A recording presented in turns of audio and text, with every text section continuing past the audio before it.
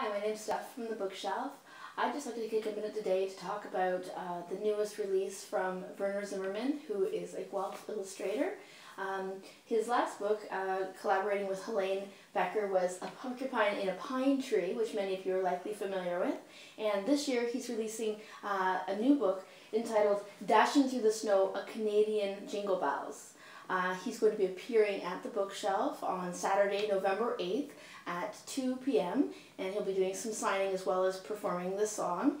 Uh, we're also um, offering you a chance to win uh, a visit from Werner to your school. If you would like to enter to win, the details will be available at the event and you can also check us out at www.bookshelf.ca. We'd love to see you out. Thanks.